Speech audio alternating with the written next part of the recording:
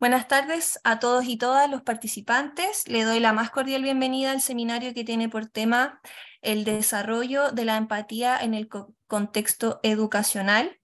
Estamos muy contentos de la gran participación el día de hoy y es por eso que queremos, en primer lugar, agradecer su gran motivación y confianza hacia nosotros por poder ser parte de su camino de aprendizaje en salud mental. A continuación, les presentaré la agenda de la instancia del día de hoy. Actualmente estamos en el bloque de bienvenida. Posteriormente viene la presentación de la temática y una vez concluida se dará la posibilidad para algunas preguntas. Sin embargo, queremos recordar que solo se podrá tomar algunas preguntas debido a la gran cantidad de personas. Una vez terminado este bloque de preguntas, vamos a realizar un sorteo que será por una beca totalmente gratuita para el curso Violencia Escolar, un abordaje desde la educación emocional, que tendrá sus sesiones en vivo los días 13 y 14 de abril. Los requisitos para poder optar a esta beca son, primero, ser profesionales de la salud mental o educación en general, o estudiantes de últimos años de formación. Y segundo, es que el sorteo se realizará solamente con las personas que hayan participado en toda la sesión, por lo que los y las invito a participar hasta el final. Durante el sorteo necesitamos que todas las personas estén atentas y con sus nombres reales en Zoom para poder encontrarlos durante el sorteo. Posterior al sorteo de la beca compartiremos el link para la generación del certificado. Este link será compartido por el chat y a través de un código QR. Una vez ingresen a ese link para el resultado, tendrán que rellenar sus datos personales y se les enviará automáticamente a su correo. A modo de información general, se mantendrán los micrófonos silenciados durante toda la instancia y se reactivarán solo en el bloque de preguntas para las personas que levanten su mano. La manito se puede levantar apretando el icono de reacciones y luego el botón levantar la mano.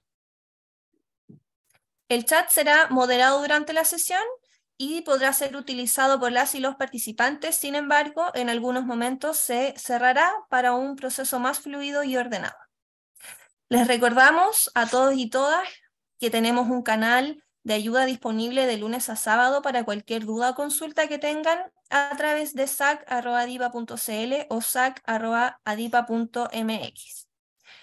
Finalmente, los queremos dejar a todos y todas invitados a que puedan apoyarnos compartiendo estos seminarios 100% gratuitos a todos y todos sus colegas y conocidos. Muchísimas gracias nuevamente. Desde Adipa les deseamos una jornada muy enriquecedora. A continuación, sí, a continuación, Natalia, para dar paso a este seminario, quisiera presentar, por supuesto, a la docente que nos acompaña el día de hoy.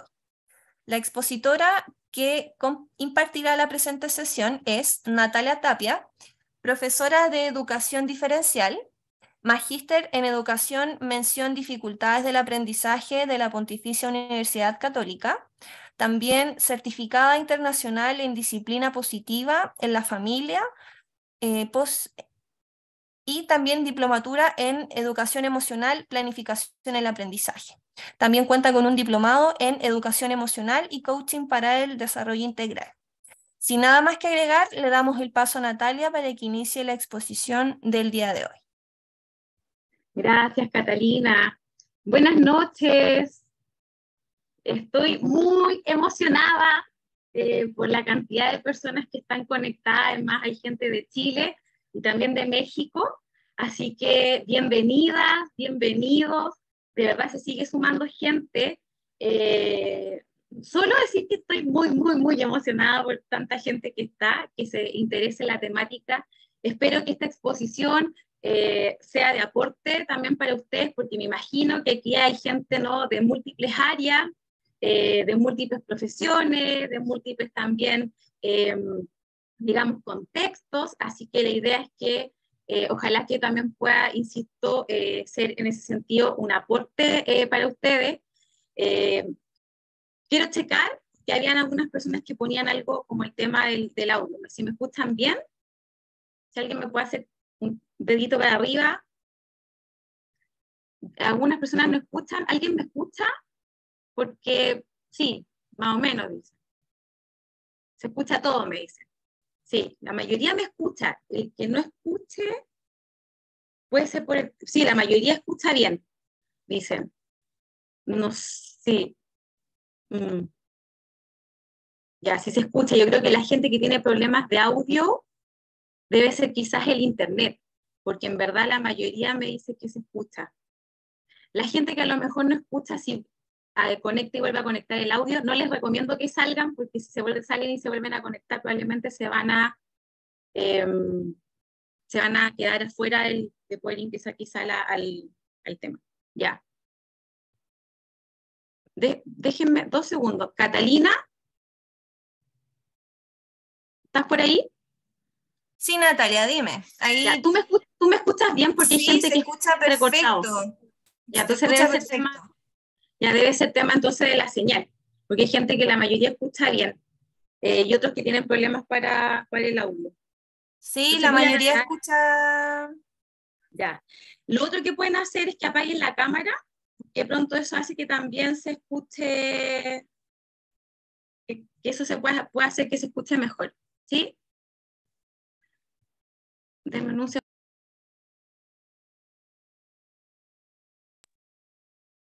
Ya, ahí estoy en el audio. Ya.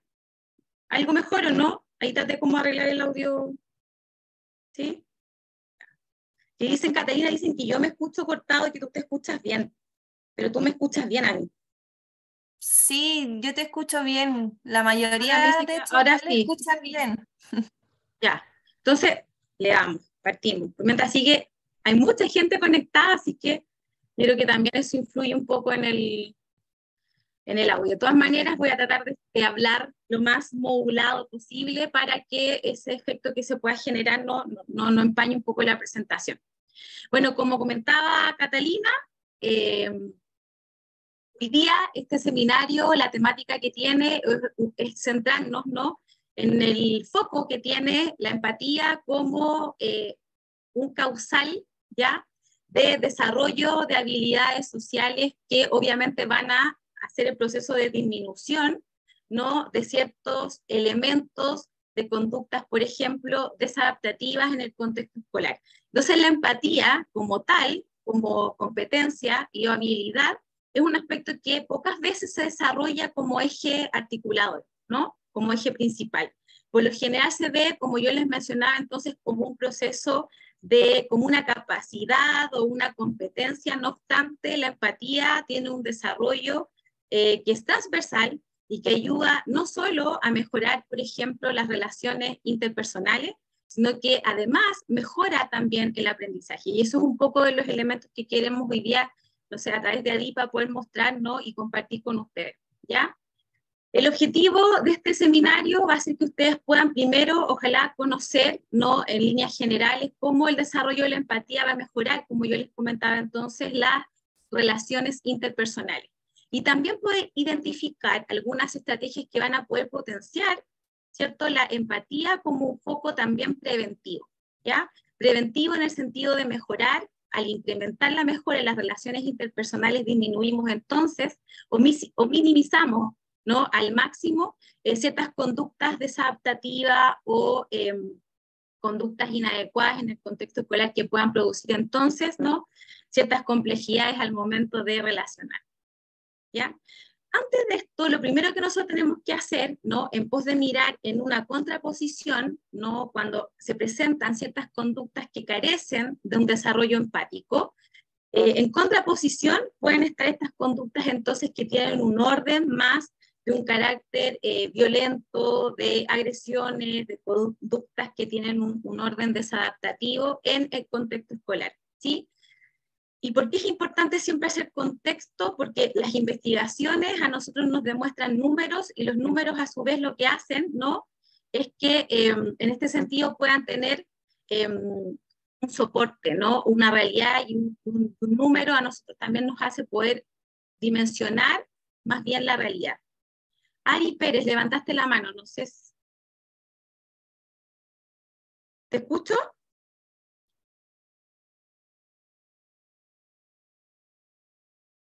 Ya, parece que, parece que no. Em, Ahí le dije. Eh, solo para comentar que no se escucha bien, se escucha entrecortado. Sí, no sé qué será. Yo creo que debe ser la, la conexión de ustedes probablemente. Sí, porque la mayoría, de hecho, te escucha bien, Natalia. Dicen que traten de apagar quizás sus cámaras para poder mejorar la conexión.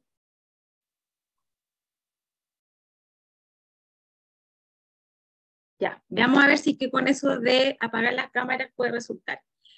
Entonces, en este contexto, ¿no? Que tiene que ver con eh, el proceso, digamos, de, en este proceso que tiene que ver con el contexto escolar, hay algunas investigaciones que yo les quiero presentar de las múltiples que existen que determinan, por ejemplo, eh, la caracterización de ciertas conductas violentas que se presentan en este caso en y las estudiantes, ¿ya? Entonces, ¿qué es lo que se determina, no? Hay una investigación que se desarrolló en la Universidad de Complutense de Madrid en el año 2000, ¿ya? Eh, si bien es una eh, investigación que ya tiene muchos años, pero es importante ver cómo a pesar del tiempo hay situaciones que siguen ¿no? sosteniéndose y manteniéndose en nuestros contextos escolares. ¿ya? En este momento la universidad, cuando hace la investigación, trabaja con cerca de 1.500 estudiantes de distintos em, establecimientos vocacionales, ¿ya? en edad entre los 11 y los 18 años. Entonces lo que hacen es medir ya básicamente cuáles son los aspectos cognitivos que, van a, que subyacen de las conductas de orden agresivo, ¿ya? Y se generan ciertas hipótesis en torno a poder comprender, ¿no? ¿Cuáles serían entonces eh, estas, estas características que se pudiesen establecer, ¿no? En el orden cognitivo de estos estudiantes que presentan conductas entonces violentas. Y las conclusiones básicamente se dan específicamente en que muchos de los estudiantes ¿no? que presentaban estas conductas, a su vez se presentaba una deficiencia en el procesamiento de la información social ya en situaciones hipotéticas, es decir, en situaciones donde no había certeza, en donde las situaciones que se estaban produciendo no tenían un orden interpretativo, quedaban entonces no a la, a la, a la chicos, les, pido que traten de no eh, rayar la pantalla porque eh, digamos, uno que me, me, distrae un poco y lo otro es que eh, no permite la, que se visualice bien la presentación. Sí, vamos a generar de todas maneras el borrado. Súper, muchas gracias. Entonces, uno de los aspectos importantes, ¿no? que se decía entonces que había esta deficiencia en cierto eh, procesamiento de esta información social, ¿ya? Además, em, tenían la tendencia de percibir en mayor eh, intensidad aquellas conductas hostiles en otras personas, ¿ya? Pero que en realidad estas conductas no eran tal, es decir, ellos hacían una interpretación de las conductas como una conducta amenazante, ¿no? Cuando en verdad era una conducta que carecía de esa carga emocional. Y también se establecían entonces ciertos problemas para anticipar las consecuencias de las estrategias que se utilizaban en la resolución de conflictos. Entonces, desde esa perspectiva, ¿no? Eh, se miraba que existían elementos comunes en los estudiantes que presentaban ciertas conductas eh, complejas ¿no? o con carga agresiva frente a otros compañeros o adultos del contexto escolar. Esta em, investigación se toca de alguna manera en el 2014 en una investigación que se hace en Colombia, ya en donde se hace un estudio sobre el desarrollo emocional. Y aquí se destacan ciertos elementos importantes, ya eh, que determinaban, por ejemplo, que los estudiantes em, que presentaban conductas agresivas tenían una comprensión de los sentimientos y una regulación, por tanto, emocional en escalas inferiores a lo que se esperaba. ¿ya? O sea, aquí se aplicaron instrumentos evaluativos ya para poder medir entonces el bagaje y el mundo emocional de los estudiantes y todos estos estudiantes, la mayoría, digamos, presentaban un desarrollo inferior a lo que se esperaba, ¿ya? Entonces, aquí se denota la importancia, ¿no?, en cómo el desarrollo emocional, si este se ve afectado o alterado de alguna manera, va a influir y va a determinar entonces las conductas que se van a realizar em, en, el en la interacción socioemocional con pares o en adultos. Y aquí surge también entonces la relevancia y el rol que cumple el desarrollo de la empatía como un factor clave para, eh, digamos, eh, determinar que las acciones que nosotros posteriormente realicemos, y no solo aquellas que realicemos, sino que a nivel de comprensión de las acciones de los otros, cuando nosotros interactuamos socialmente con los demás, eh, digamos, se vean afectadas de manera positiva. La empatía es uno de los elementos clave y sin duda, por tanto, em, es absolutamente necesaria su óptimo desarrollo. ¿sí? La empatía es una conducta que va a partir ¿no? de un componente humano. Y hay distintas variables de donde nosotros podemos mirar la empatía. ¿no? Hay distintos lentes que nosotros nos podemos poner y observar el desarrollo de la empatía. ¿ya? En el contexto escolar, los estudiantes, cuando se desarrollan, cuando se despliegan a nivel socioemocional, ponen en juego una serie de herramientas de competencias y habilidades, ¿ya? Que muchas de ellas no son innatas, ¿no? Sino que son habilidades y competencias que se tienen que aprender. Y la empatía es una de ellas. La empatía se aprende, ¿sí? Uno no nace empático, uno desarrolla la empatía y desarrolla la empatía en la manera, en la forma en que uno se también se vincula ¿no? y se relaciona con otros. La empatía no se puede desarrollar si yo no tengo ¿no? un correlato eh, relacional con otras personas. En el contexto entonces de la escuela, no, solo no es solo importante que los estudiantes tengan aprendizaje ¿no? académicos, ¿no? sino que también socioemocionales. Y, y desde esa perspectiva, lo que se pide, ¿no? Desde esta mirada socioemocional, es que los estudiantes sean, por ejemplo, capaces de reconocer necesidades físicas y emocionales en los otros, ¿sí? Porque esto les va a permitir entonces poder mantener, por ejemplo, un clima escolar que permita y favorezca la cooperación, la comprensión y el compañerismo, ¿no? El sentir, el formar un clima de, de aula apto para el aprendizaje, eh, es relevante entonces el desarrollo de ciertas competencias, ¿ya? Y la empatía como capacidad, ¿no? Eh, nosotros la utilizamos para poder comprender no solo el accionar de los otros, sino que también el bagaje emocional de las otras personas. Nosotros comprendemos a través de la empatía la vida emocional de las personas que están a mi alrededor. Y también con eso vamos comprendiendo la complejidad que esto conlleva, ¿sí? Porque cada persona tiene su propio bagaje emocional, despliega sus competencias y herramientas emocionales también con distinción. Cada uno de nosotros tiene un sello. Si bien las emociones son transversales, la forma en que las vivimos, las procesamos, las regulamos, eh, tiene que ver también con el sello personal. Entonces es sin duda un universo desafiante y complejo. Entonces la empatía, ¿no? Entre otras cosas, eh, está no solo referida a la comprensión, ¿no? De la acción y de la emoción del otro, sino que también a ciertas prácticas como por ejemplo la escucha activa, ¿no? Eh, el apoyo y la contención emocional de un otro, eh, son elementos claves ¿no? que están a la base de este desarrollo de la empatía.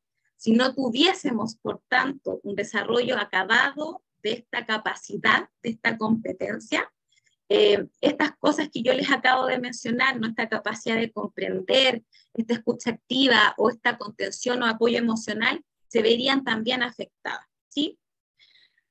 El elemento clave de la empatía, y muchas veces la empatía se queda solo en la definición en que yo sea capaz de ponerme, como dice ahí, ¿no? entre comillas, en el lugar del otro, ponerme, entre comillas, en los zapatos del otro. Pero eso no es la empatía, ¿no? Porque yo jamás puedo ponerme en el lugar del otro, en los zapatos del otro, porque no estoy viviendo la situación que el otro vive. No obstante, lo que yo puedo hacer es aproximarme a comprender lo que el otro siente, ¿no? Cómo el otro vive una situación en específico, eh, gracias a la empatía, ¿ya? el ponerme los zapatos del otro es muy, eh, es una visión muy restringida y, un tanto equívoca de cómo nosotros podemos comprender eh, la empatía como, como esta capacidad, ¿ya? Lo que se busca a través del desarrollo de la empatía es que una vez que nosotros la trabajamos, la intencionamos, ¿no? la potenciamos, nosotros vamos a permitir que nuestros estudiantes puedan, por ejemplo, diferenciar los estados afectivos ¿ya? de las otras personas. Y además, a mí la empatía me permite tomar perspectiva, y esto es súper importante, ¿no? Para, eh, y es uno de los aspectos que minimiza casi al máximo las conductas desadaptativas, ¿no? O conductas, por ejemplo, de violencia o agresividad. Porque cuando yo logro ser empático, ¿no? Y logro tener, este, diferenciar lo que le está pasando afectivamente al otro, eh, puedo no observar mucho, más profundo que aquella conducta visible. La conducta visible es el acto, ¿no? El acto en acción específico. Cuando yo tengo la empatía, sé que lo que yo observo es solo la punta del iceberg, no es la conducta visible y que bajo de esa conducta hay una necesidad y una emoción que la promueve. Entonces me permite no reaccionar frente a la acción, no involucrarme emocionalmente frente a una acción, por ejemplo, de violencia, sino que tomar perspectiva, ¿no?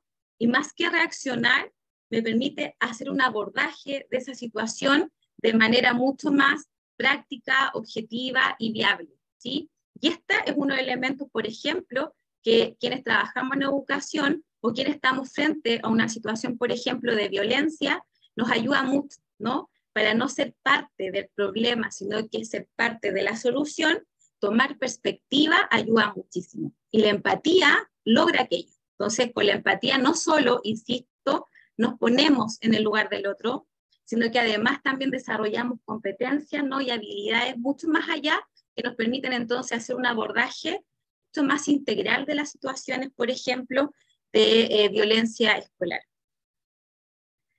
Entendemos entonces la empatía, pero hay características, ¿no? Yo les comentaba y, comenzaba diciendo que tenemos distintos lentes por los cuales nosotros podemos situarnos y observar el proceso de la empatía, ¿ya? Y una de estas características es que la empatía nos permite desarrollar habilidades como la escucha activa. Me permite escuchar mejor, efectivamente escuchar mejor, ¿ya?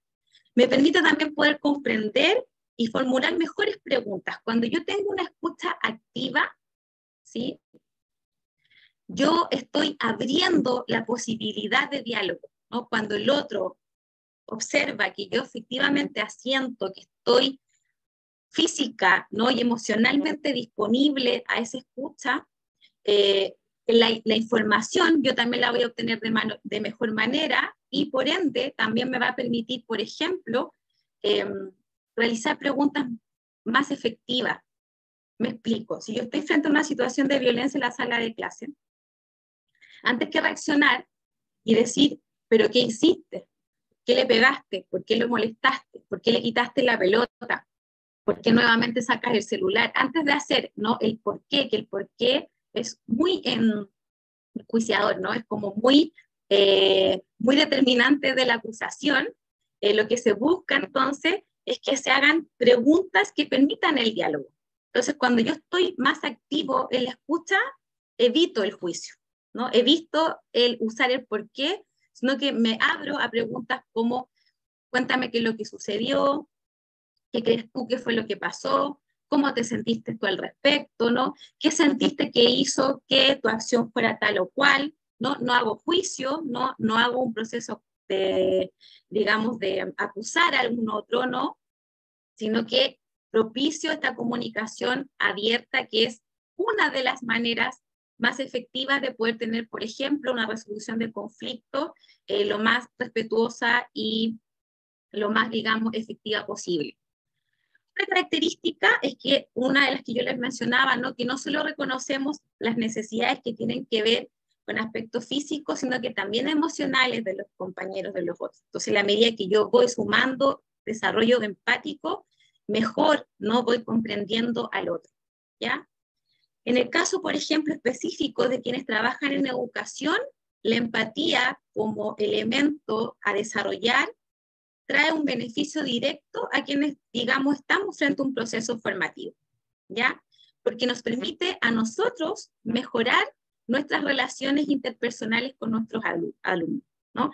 Por ende, la empatía no es solo una capacidad a desarrollar en los estudiantes, sino que también en uno como eh, docente formador, ¿sí? Entonces, el, el profesor, mientras más empático, mejor relaciones interpersonales tiene ¿no? con sus estudiantes. Siguiendo en esta lógica, ¿no? Eh, muchas investigaciones al respecto determinan que las personas con menor capacidad de empatía van a ser parte con mayor frecuencia en situaciones que conlleven conductas violentas en el ámbito escolar, ¿no?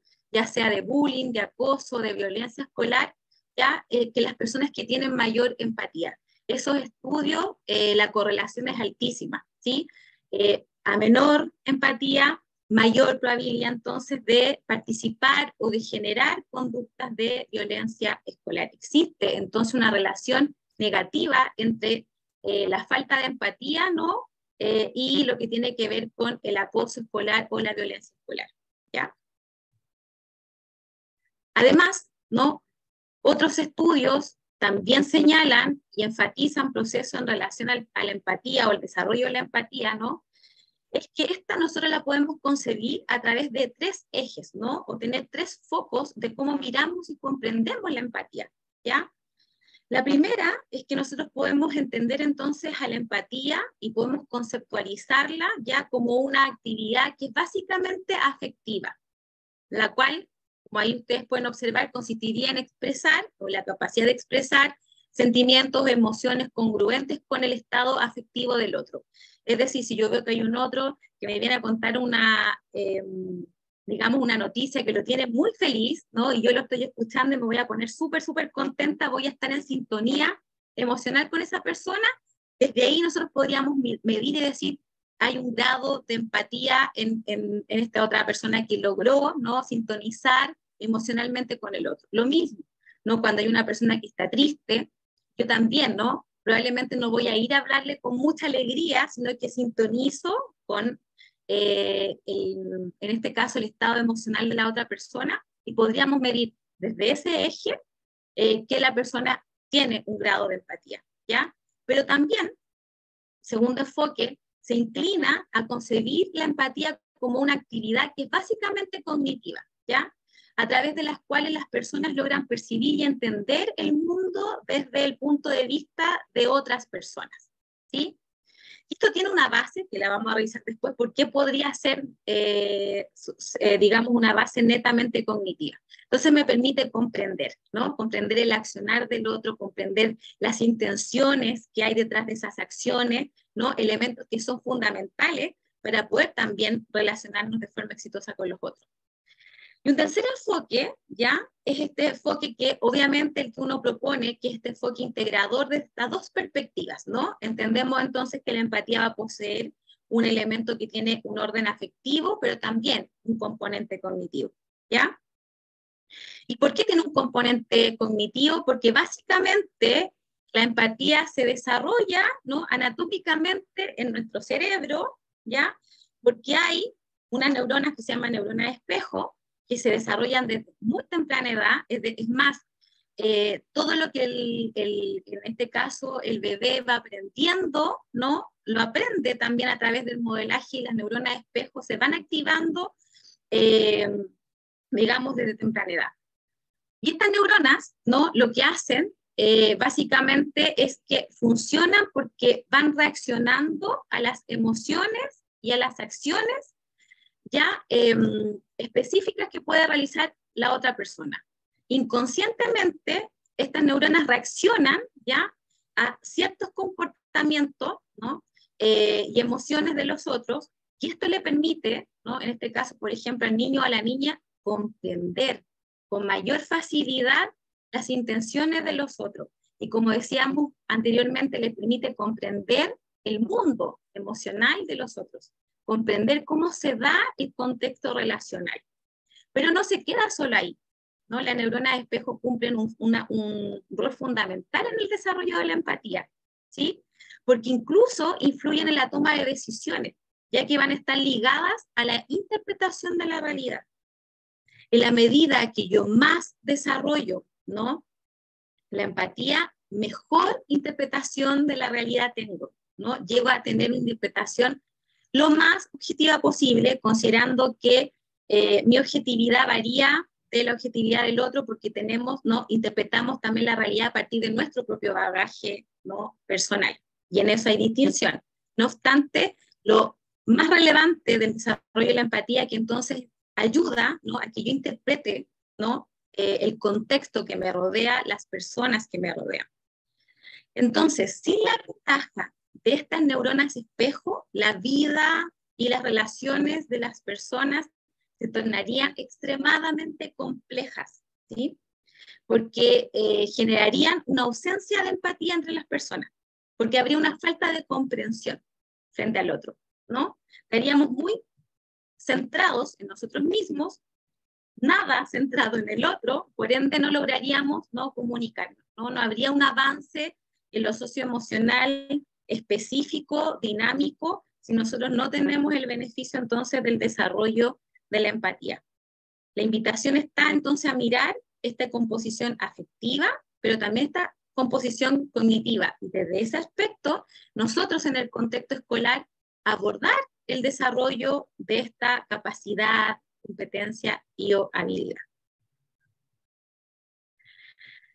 ¿Con qué nos encontramos nosotros en la sala de clase? ¿no? ¿Con qué se encuentran eh, ustedes también en el orden social, si no solo trabajan en educación? ¿no? Nos encontramos constantemente con expresiones que tienen que ver con nuestro mundo emocional.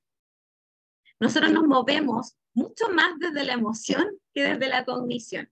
¿no? Ahí pueden haber, ustedes pueden tener, pueden diferir de mí, pero hay muchas investigaciones y muchos elementos entrando la neurociencia al contexto escolar. Hay muchas investigaciones que ya determinan que nosotros básicamente somos más seres emocionales que cognitivos, ¿ya? Nos movemos a partir de eso, porque las emociones son una energía vital. Las emociones nos, nos definen, ¿no? Definen nuestras acciones, definen básicamente lo que queremos en la vida, lo que somos, o sea, es mucho más allá, es más profundo de lo que nosotros a veces entendemos, ¿no? El proceso a nivel emocional. Si ustedes observan las imágenes, son imágenes que les transmiten a ustedes, si yo les preguntara una serie de emociones, ¿no? Cansancio, aburrimiento, apatía, ¿no? Eh, falta de motivación. Y son elementos que nosotros encontramos en nuestra sala de clase.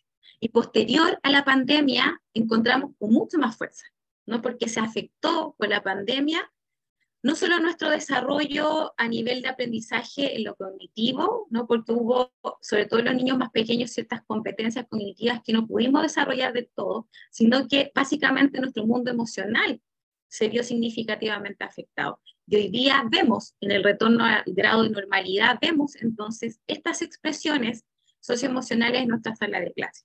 Y ustedes ven la imagen que está aquí abajo, no solo son los estudiantes, ¿no? Los que presentan este bagaje emocional, sino que en este caso el docente que está en esa imagen, ¿no? Está sintonizado emocionalmente con sus estudiantes. Está desganado, cansado, desmotivado, ¿sí? Entonces es importante, ¿no? Que nosotros nos centremos en esto porque hay un efecto potente en cómo nosotros podemos influir en las acciones de nuestros estudiantes eh, a partir de nuestra propia sintonía emocional, a partir de nuestro mayor o menor grado de empatía. Un docente que está afectado, por ejemplo, por el impacto del estrés ¿no? en su quehacer pedagógico, establecería un efecto significativo en el clima de aula y en los procesos que se dan en el clima de aula, ¿ya? Como en las interrelaciones que pueda tener él con los estudiantes. ¿No? Hay muchas investigaciones al respecto que ya muestran cómo puede influir entonces em, la sintonía emocional y el nivel de grado empático que pueda tener el docente cuando se enfrenta, por ejemplo, a la entrega de un contenido. ¿sí? Juan Casasús, chileno, que es un doctor en sociología, en el año 2007 hace una investigación en torno a la relación, al impacto de la relación entre los docentes y los estudiantes. Aquí en Chile es una de las personas que, casi inicia el, el, digamos, el estudio de la educación emocional ¿no? en nuestro país. Eh, y él hace esta, esta investigación y los resultados indican, por ejemplo, que la desatención a las necesidades afectivas y emocionales de los estudiantes, como por ejemplo no ser escuchados, no ser reconocidos o aceptados, ¿no? la falta de comprensión hacia sus preguntas o inquietudes y necesidades, se convierte en una posible causa de violencia o de comportamientos agresivos que impactan ¿no? en el proceso de aprendizaje, como en el proceso también emocional y personal de los estudiantes. Entonces, esto es una esfera mucho más amplia que el desarrollo específico de los estudiantes, sino que también aquí hay una esfera que toca no solo al docente, sino que al adulto formador que esté en el, eh, digamos, que tenga un rol formativo dentro del contexto escolar.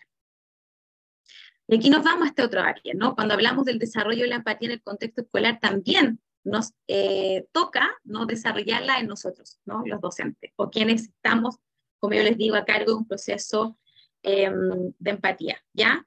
Empatía en el docente em, es tremendamente relevante, ¿ya? es fundamental para generar entonces un proceso de aproximación, de encuentro, de aceptación con el otro, ¿ya? En la medida en que el profesor tiene un mayor grado de empatía, logra conectar mejor con el estudiante. ¿Y cuál es el clima idóneo para aprender? ¿No? Es a través de la conexión, porque no hay aprendizaje si no hay emoción, ¿sí? Entonces, para generar una emoción placentera que active, ¿no? que nos ponga en modo creativo, que disponga cognitiva, biológica, fisiológicamente nuestra disposición al aprendizaje, la conexión es relevante, es central, es crucial, ¿no? Y la empatía genera la conexión. A mayor empatía, más conexión socioafectiva con mis estudiantes, ¿ya? Además, es relevante porque permite, ¿no? El desarrollo personal de los estudiantes, ¿ya?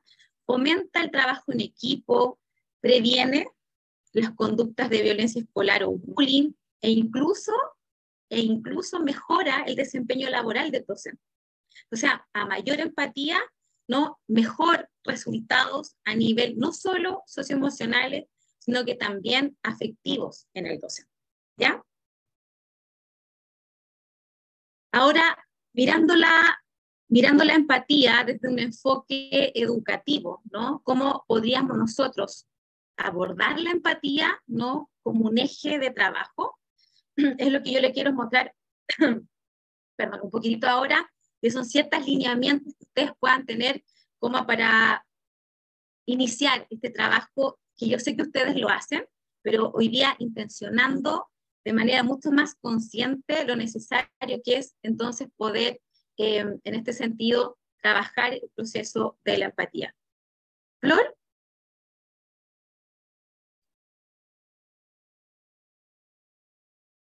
Ahí, Flor, por favor, reactivar tu audio si tienes alguna consulta, porque por sí solos no van a poder hacerlo. Entonces, para que estén atentos ahí al mensajito que les va a aparecer en su, en su pantalla. Flor, te lo estoy enviando, que lo puedes activar.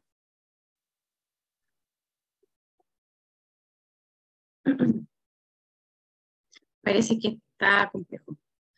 Seguimos mientras pueden activar, ¿te parece? Como para que no, no, no perdamos ahí la... Sí, como gusta Natalia. y ahí vemos después, yo voy a dejar cinco minutitos para que podamos tener preguntas y eso también, ¿ya? Entonces, desde el, desde el aspecto educativo, ¿cómo nosotros podemos abordar ¿no? el proceso de la, em, del desarrollo de la empatía eh, que insistimos, no solo mejora las relaciones sociales, sino que además aumenta la inclusión, ¿no? Para poder generar contextos inclusivos, la empatía tiene que estar sí o sí, ¿no? En, un, en un contexto escolar en donde esto no esté desarrollado, muy difícilmente vamos a estar abiertos ya a la diversidad, no vamos a estar abiertos em, a lo nuevo, a lo distinto, a lo diferente. Entonces, desde esa perspectiva, la empatía también ¿no? contribuye a mejorar em, una cultura social eh, que tenga más tendencia a, por ejemplo, la inclusión. ¿ya? ¿Qué es lo que produce a nivel educativo cuando nosotros cambiamos, promovemos la empatía? ¿Qué cambia en la escuela? ¿no? Mejora el ambiente, el rendimiento, aumenta, como yo les decía, la conexión entre los profesores y el estudiante, mejora la capacidad de trabajo en equipo, porque tengo una mayor comprensión del otro. Y entiendo también que trabajando con un otro obtengo mejores resultados que trabajando de forma individual, por ejemplo, ¿no? Crea entonces estos entornos inclusivos y además reduce, ¿ya? La violencia o el bullying dentro de los contextos escolares, ¿ya? Y aquí les muestro una progresión del desarrollo de la empatía en el sistema educativo, que es una propuesta que se realiza. Eh, ahí ustedes la van a tener, no, es una propuesta que se hace, eh, si no me equivoco, esta es una de las propuestas que se hace en México y en parte Latino, eh, Latinoamérica, en torno a, hay muchos países que han centrado el desarrollo de la empatía en su proceso escolar, lo tienen ustedes para que lo puedan revisar con mayor detenimiento, ¿ya? pero aquí el foco es poder hacer un desarrollo. Primero, ¿no? Lo primero es que yo desarrollo la empatía eh, de manera personal, es decir, que cada estudiante vaya a su ritmo, ¿no? ¿Y cómo yo desarrollo la empatía? A través del conocimiento emocional, del conocimiento de mis emociones, del conocimiento, por ejemplo, de cómo yo percibo, de cómo es el correlato físico de las emociones cuando yo las vivo, que sepa identificarlas, nombrarlas, eh, que conozca una gama mucho más variada de emociones, o sea, mi bagaje eh, de vocabulario emocional sea más amplio, por ahí se comienza el trabajo, ¿no? Y desde, cuando yo trabajo desde la conexión emocional, desde el conocimiento emocional personal, yo puedo entonces sintonizar con el, con, el bagaje emocional de los otros.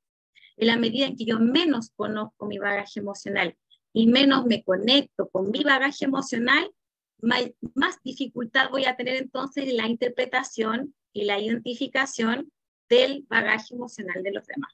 ¿Ya? Entonces, básicamente, ¿cómo trabaja la empatía en el aula? Fomentando sin duda la educación emocional. Porque hay hitos del desarrollo emocional que determinan también ciertas capacidades y competencias en nuestros estudiantes. ¿Ya?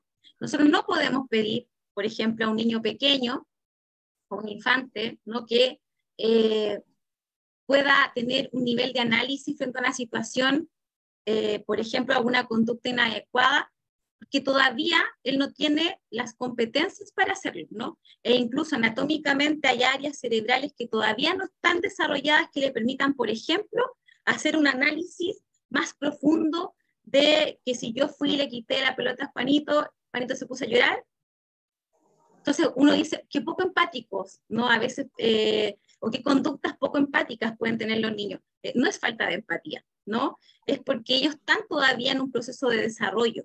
Entonces es importante conocer ciertos hitos del desarrollo emocional, porque también vamos a poder nosotros como adultos comprender, saber qué esperar, qué solicitar y cómo formar también a nuestros estudiantes, ¿sí?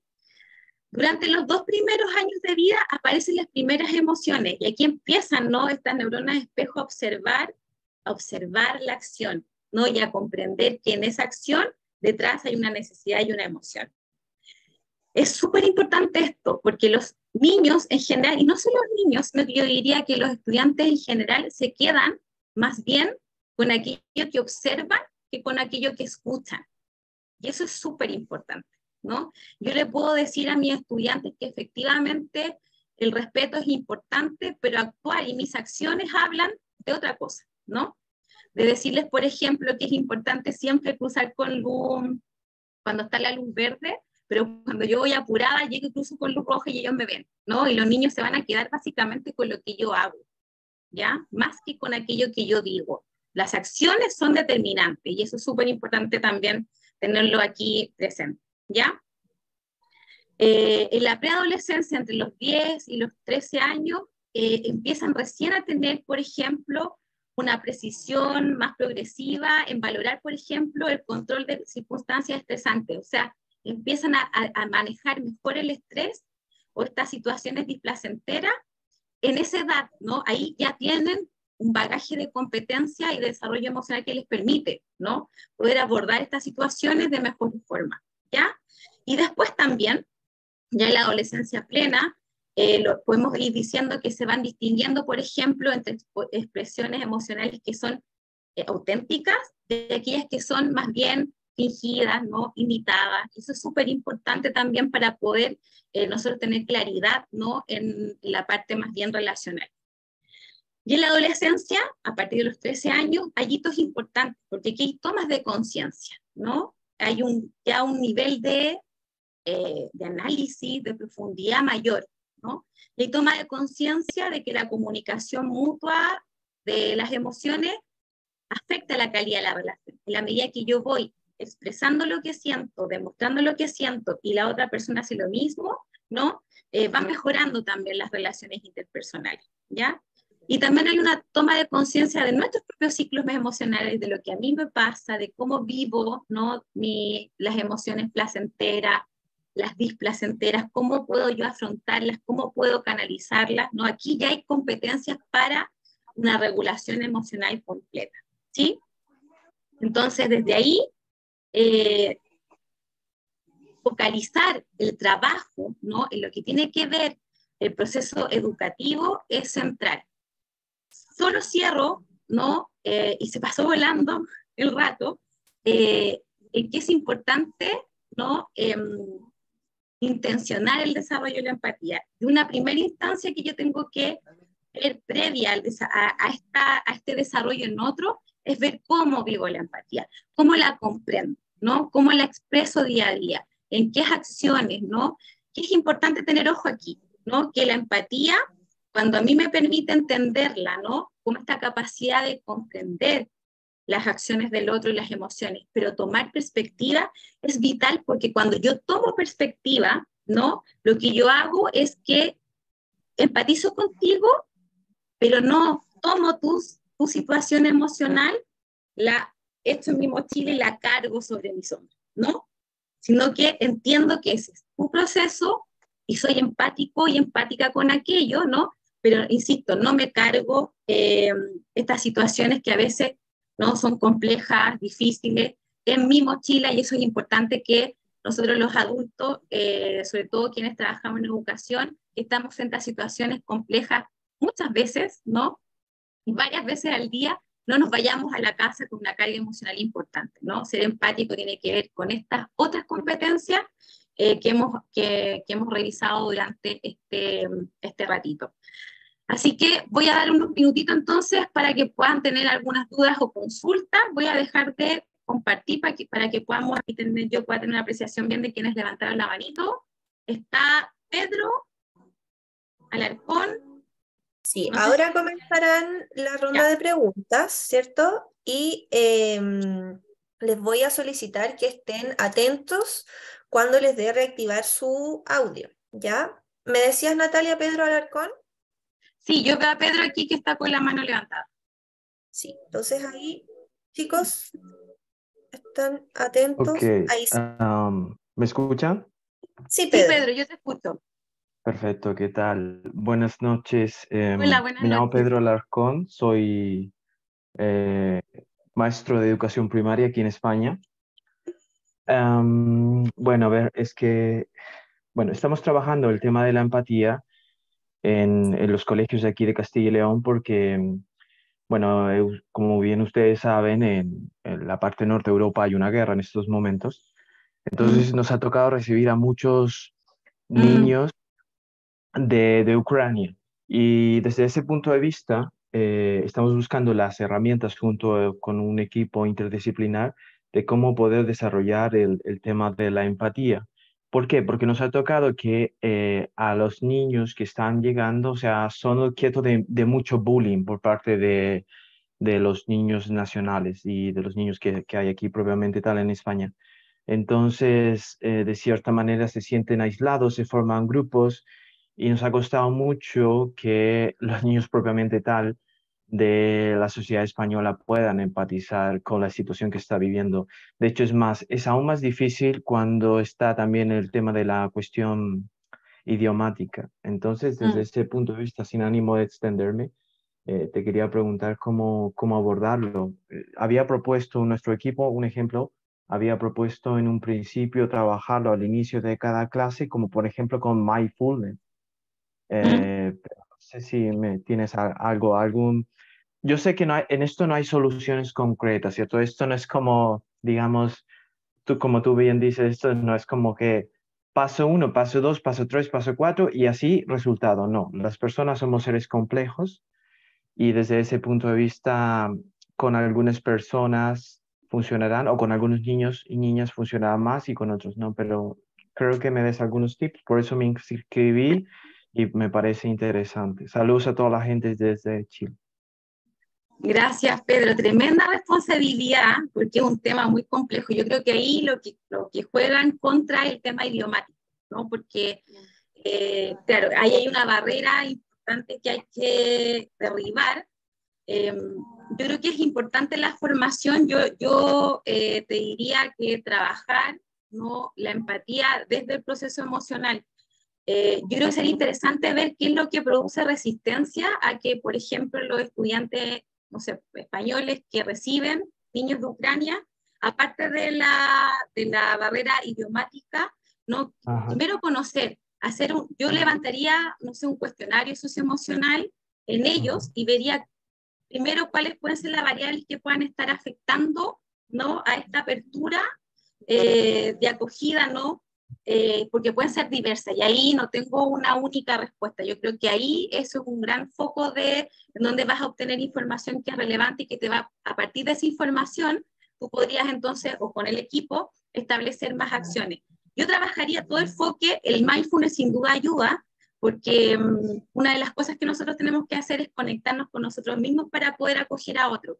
Va a ayudar a los niños que vienen con con un proceso emocional doloroso, ¿no? Vivir una guerra, yo creo que es lo que más afecta de por vida a una persona. Imagínense cómo puede dañar el, desarrollo de la infancia. Entonces ahí hay que hacer trabajos paralelos también, ¿no? Porque son realidades distintas en quienes acogen y en quienes son acogidos en este, sistema, en este nuevo sistema escolar.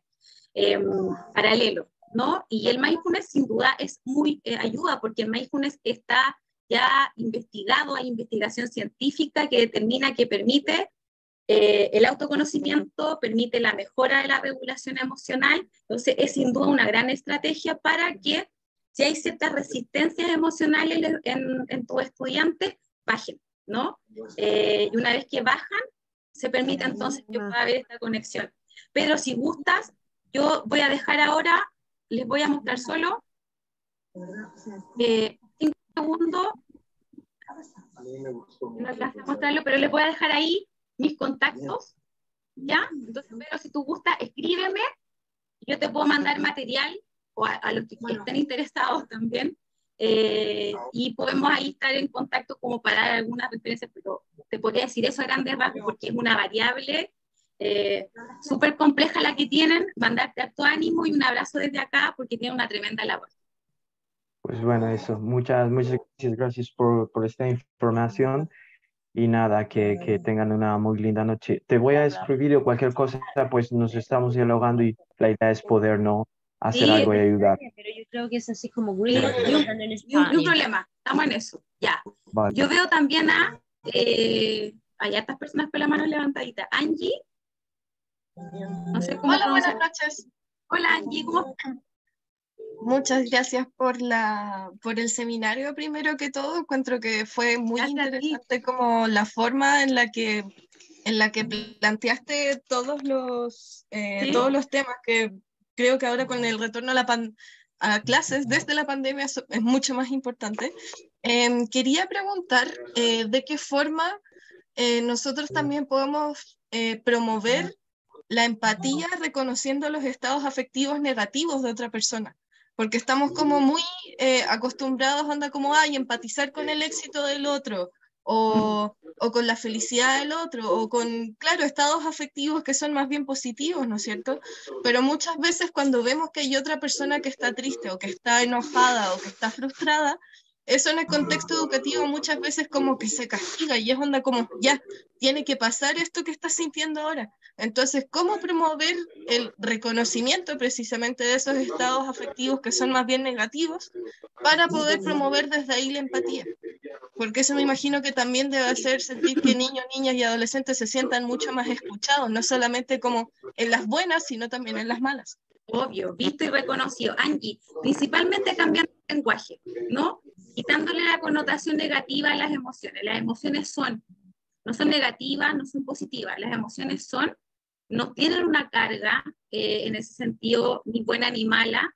Las emociones se pueden clasificar en placentera o en displacentera, por ejemplo, algo que me produce mucho agrado y algo que me mueve, me incomoda, no, no me gusta. Eh, yo creo que ese es un primer gran paso, ¿no? El lenguaje genera realidad. Entonces, cambiar en la connotación y formar, ¿no? Por ejemplo, cuando hablamos de las emociones, siempre partimos con las emociones eh, placenteras. Cuando estamos alfabetizando emocionalmente, trabajamos la alegría, trabajamos la felicidad y como que después tocamos así la tristeza, el odio, la rabia, como más bajito, ¿no? Como que no se note mucho. Alfabetización emocional es, la primer, es lo primero, ¿no? Quitarle la carga negativa positiva y aumentar las emociones hay un libro que pidieron por ahí referencia bibliográfica, El universo de las emociones de Rafael Vizquerra, y yo lo amo porque él habla de la gama inmensa de emociones que vivimos y que yo creo que nosotros conocemos un cuarto de las emociones que existen. Entonces, yo te sugeriría partir por ahí. Ese es el primer gran paso para poder ir generando este proceso de empatía con las emociones que son más displacenteras. ¿Ya? Excelente. Muchísimas gracias, Natalia. Gracias a ti por tus palabras. Gracias por estar. Eh, Natalia, damos el paso a Sergio, que estaba con la mano levantada inicialmente. Dale, dale. Gracias, muy buenas noches a todas, a todos. Hola, Sergio, buenas noches. Y una felicitación a la ponente. Yo voy a tocar, un, más que una pregunta, voy a tocar un punto eh, medular, así como lo hizo, lo hizo Pedro, en relación a los niños este, ucranianos, ¿Mm? eh, yo quisiera que tomáramos en cuenta lo siguiente como una recomendación. Indudablemente, eh, el ser empático no solamente lo debe de ver el maestro, yo me dedico, soy capacitador y soy asesor de colegios, ya llevo muchos años en esto. Y entonces, no solamente es para que tu clase sea más emocionante, para que el chico tenga seguridad, tenga se sienta a gusto, trabaje en equipo, se integre. Todo eso está muy bien y qué bueno que lo remarcaste, estimado ponente. Sin embargo, Sin embargo, hay una situación que debemos de tomar en cuenta, pero muy, muy, pero muy, muy fuerte. A mí me impactó. Chicos de secundaria, chicos de bachillerato y chicos de profesional de educación superior normalmente se la pasan mucho tiempo en redes, muchísimo. Mm, sí. Y ahí en las redes, indudablemente, andan en busca de su identidad, andan en busca de su afirmación, andan en busca de, de generar amigos y muchos no lo encuentran. Al contrario, se sienten apartados, se sienten abatidos. Si nosotros fuéramos empáticos en los salones, no solamente pensemos en la clase, podríamos mm. ser esa, esa posibilidad, esa conchita de donde se puede agarrar el alumno y decir, le voy a preguntar al maestro, me voy a acercar al maestro, porque es un chico que no solamente hay problemas con las redes, ¿no? Se siente desilusionado, sino voy a ir más allá. Cuidado con lo que voy a decir. ¿Mm? Suicidio en los jóvenes. Hay, hay una, una cantidad impresionante de suicidios en jóvenes, secundaria, bachillerato y educación superior. Entonces, esto de la empatía sería una tablita de salvación, una tablita de salvación de ese chico que está desesperado, que a lo mejor ya va a empezar a hacer planes de cómo suicidarse, pero mm. ay caray, su maestro, su maestra, parece que hay una lucecita ahí de confianza y posiblemente me pueda yo acercar, o a la inversa, precisamente porque eres, eres este, empática maestra o empático maestro, captaste algo, te acercaste, Y a lo mejor no eres tú la solución, pero a lo mejor eres el vínculo para conectarlo con una persona que le va a ayudar. Eso es lo que quería comentar. Absolutamente, sí. Y la verdad hay que tomárselo, pero muy, muy en serio. ¿eh? Gracias, buenas noches. Muchas gracias. Gracias a, ti. Buenas noches. Eh, gracias. Nicolás, ustedes me dicen. Eh, vamos a dar espacio a dos preguntitas más eh, de las dos manos que se levantaron al inicio, una de ellas doctora Constanza Andrea Rocha y la otra Josefina Burto. La verdad es que agradecemos muchísimo el interés, obviamente por temas de tiempo y cantidad de personas no podemos responder cada una de las consultas, sin embargo creo que la exposición hasta el momento ha sido muy enriquecedora, así que vamos con las últimas dos preguntas. Doctora Constanza Andrea Rocha. Hola Constanza, está, está, sin, está silenciada tienen que permitir el micrófono. Ahí sí. Ahora sí. buenas noches primero. Em, Hola. Que en realidad muy buena tu exposición. Es un tema que se está demasiado. Eh, bueno, yo soy eh, médico, soy, em, bueno, tengo la, em, la meta de ser psiquiatra infanto-juvenil y considero de que esta presentación en particular, que es la empatía, es un tema transversal. Y en ese sentido, eh, te quería consultar sobre eh, alguna estrategia en particular de cómo abordar el tema del acoso escolar o bullying, que en algún momento lo mm. mencioné en la presentación, porque a mí me han llegado muchos pacientes eh, con esta problemática en particular que luego detona con trastornos ansiosos, con trastornos depresivos, incluso casos de suicidios consumados. Entonces, ¿qué estrategia en particular tienen para trabajar con los colegios? Esa es mi duda.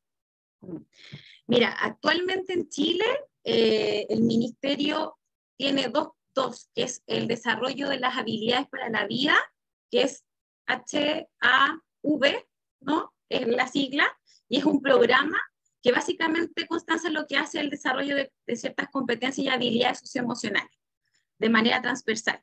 Nosotros hoy día, curricularmente hablando, estamos situados solo en el, en el eje de orientación, ¿ya?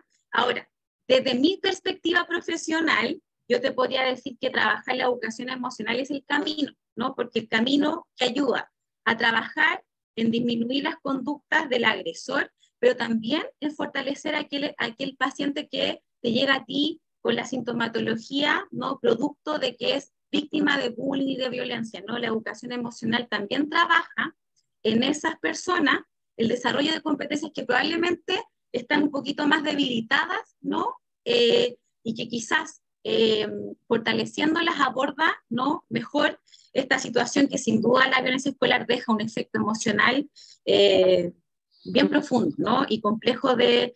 Y por otro lado, el Ministerio también ahora tiene un plan que es SOS, que es para trabajar en situaciones como aquellas que mencionaste tú, ¿ya? Eso es lo que yo te puedo decir ministerialmente hablando. Ahora, desde la perspectiva, insisto, personal y profesional, también yo creo que quiere ser un trabajo de larga data, ¿no? ¿no? No, ser reactivo solamente a la situación, sino que generar un proceso curricular que tenga que ver con el desarrollo socioemocional de los estudiantes. Yo creo que eso también a largo plazo se sostiene y permite bajar estos niveles también de violencia escolar que hoy, hoy en día estamos observando. Súper, mira, sí, yo tenía entendido que hasta hace unos años, ¿cierto? Se incorporó este el tema de los talleres socioemocionales, de hecho ahora hay un departamento de convivencia escolar en los colegios y todo el tema, pero eh, lo veo siempre muy enfocado al aula, un poco a los docentes, pero no sé si hay un trabajo con las familias, porque al final es eh, las familias es donde el niño o niña adolescente pasa más tiempo y es donde el niño ve los patrones de conducta y los patrones que tiene de relacionarse con los otros. Entonces, esa también era mi duda, ¿se vienen estrategias actuales eh, con familias? Es que la lógica es que siempre la familia es parte de la triada del colegio, ¿no? Es familia, colegio y estudiante. Entonces, no puede haber un programa socioemocional que no incluya de lleno a la familia. Ahora sí, se enfoca mucho dentro del proceso curricular, pero aquí tendría que haber una formación, tendría que, tendrían que haber ejes que inviten a las familias a ser parte del proceso, porque como tú muy bien describes, ¿no? la familia es el primer núcleo formativo. ¿no? Entonces, eh, es importante. Ahora, yo no conozco en su totalidad los programas, pero yo te puedo decir que los que yo he observado, como el programa base, por ejemplo, tiene también trabajo con la familia. Y ese es otro programa que podrías revisar, Constanza. También que trabaja el tema socioemocional. ¿Ya? Muchas gracias. Super, gracias a ti por interesarte en el, en el tema, me encanta. Primera vez que participa un médico en la charla, así que me siento honrada. ya, Josefina. Muchísimas gracias, Constanza. Sí, Josefina ahora y terminamos el bloque de preguntas. Recuerden que posterior al bloque de preguntas vamos a realizar el sorteo para la beca justamente del curso eh, y una vez terminamos ese, ese sorteo que dura dos, tres minutos, pasamos a el proceso de, eh, de entrega de el link para la asistencia y QR respectivo. Justamente la beca para el curso, posterior a la pregunta, es sobre eh, un abordaje de la educación emocional, violencia escolar, un abordaje desde la educación emocional muy relacionado a las temáticas revisadas el día de hoy. Así que vamos con Josefina. Sí, era la, sí, faltaba. Sí, una de mis dudas tenía dos, como que ya la hizo la doctora recién, pero eh, en torno, yo estoy en convivencia escolar como psicóloga en un colegio y eh, mi pregunta es un poco más de lineamientos éticos de cómo trabajar la habilidad socioemocional en la empatía en un contexto de alta vulnerabilidad y alta violencia. Porque una cosa es mm. cuando los apoderados, las familias se alejan un poco de la crianza de los niños y del desarrollo de habilidades socioemocionales, pero otra es cuando uno intenta trabajar de repente el desarrollo de estas habilidades, pero en las casas se ve completamente truncado. Mm. Entonces, eh, ¿de qué forma uno puede desarrollar? Porque en Chile está la GEC socioemocional que algunos colegios eh, la están aplicando, donde yo estoy, eh, la están aplicando, pero el gran problema es que estos documentos no tienen lineamientos muy claros, tienen como objetivos generales y objetivos, uno que otro objetivo específico. Entonces, ¿de qué forma es como la más adecuada o qué crees tú que es la forma más adecuada de trabajar habilidades socioemocionales en un contexto donde todo lo que uno avance al final en la casa se retrocede? Porque una cosa es como querer eh, incentivar que las familias participen, y aquí no digo que todas las familias son violentas, pero gran parte de los niños violentos vienen de familias muy violentas. Entonces, mm. ¿cómo hacer este, desarraigar un poco este, esta crianza que va a estar con ellos todavía porque son niños o adolescentes e instaurar como unas nuevas prácticas en ellos? Sí. Josefina, te voy a decir algo políticamente incorrecto con un acto de fe. Y me voy a sumar a lo que dijo eh, el colega anteriormente, ¿no? Eh, probablemente tú no vas a modificar el contexto de los estudiantes, no. Eso es altamente probable que no lo vas a hacer. ¿No? Tú no puedes, porque el colegio tiene un límite, entonces tú no puedes no modificar eh, una crianza no violenta a una crianza positiva, respetuosa, probablemente hay papás que van a estar abiertos y la mayoría no, ¿no? Y va a poner una barrera. Ahora, el acto de fe tiene que estar en que la medida que tú siembres en los estudiantes, algo va a quedar. Porque yo me tomo de lo que dijo ¿no? El colega anteriormente, cuando tú le muestras a un estudiante, ¿no? Que hay otro contexto de vida, que hay otra forma de relación, ¿no? Que hay otra manera, que hay competencias que yo puedo resolver los conflictos desde otra mirada, ¿no? Con otras conductas, que hay otra forma de relación, eh, tú estás sembrando, ¿no? Y probablemente vas a ver un cambio inmediato en algunos niños, como en otros que no lo vas a visualizar y se van a dar a largo plazo, o en otros niños que no va, a ser, no va a haber ¿no? fruto de esa semilla. Por eso que es un acto de fe, porque ustedes tienen esta complejidad ¿no? de la vulnerabilidad a nivel eh, familiar que puedan tener estos estudiantes. No desistir, trabajar. Eh, ahora, ¿qué es lo que da más efecto? Que sea un trabajo, eh, de proceso continuo. No, no, acciones aisladas. Oye, alguien se le quedó No, no acciones aisladas, ¿no? ni reactivas, sino que el colegio tome como dentro del proyecto escolar, la, necesidad de generar un proyecto de desarrollo socioemocional, ¿no? que sea constante, que ellos lo vean en ustedes, cómo ustedes se relacionan entre ustedes mismos para ir con ellos, ¿no? Y ir tomando, tener esta fina sintonía en darte cuenta en quiénes sembraste y quiénes engancharon y usar también de cierta forma a esos estudiantes como monitores, ¿no? Como eh, trabajadores de este elemento socioemocional. Yo te puedo decir, eh, por eso que, es políticamente incorrecto, ¿no? Pero es un acto de fe, porque ustedes tienen en contra ese contexto, eh, pero no desistir, ¿no? no desistir, porque cuando tú a los estudiantes le muestras con firmeza que hay otra forma, puedes estar salvando, como decía el colega, la vida de alguien, ¿no?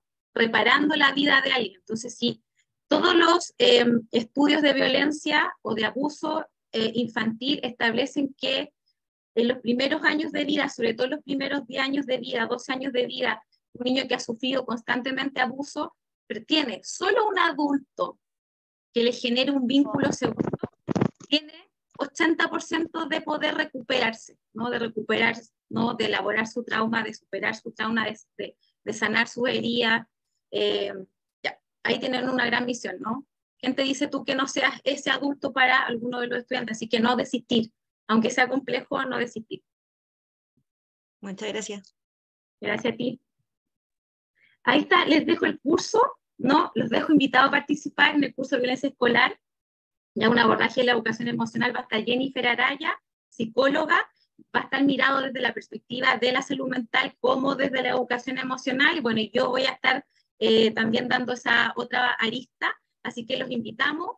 Es el 13 y 14 de abril, así que falta poquito, así que para que se puedan inscribir y participar. Y ahora dejo, no sé, Nicolás, como para que vean lo del sorteo. Sí, Catalina ahí nos va a estar apoyando. Ya, la, eh, ya. Sí, recuerden que ahora vamos a justamente dar una beca 100% gratuita para el curso de violencia escolar eh, desde un abordaje desde el aprendizaje socioemocional y este curso que comentaba el 13 y 14 de abril. Em, para ganar, básicamente, nosotros vamos a hacer el sorteo ahora con los inscritos y debe estar presente en la sala. Una vez terminamos este sorteo, que no dura más de dos, tres minutos, vamos a enviar los links de asistencia.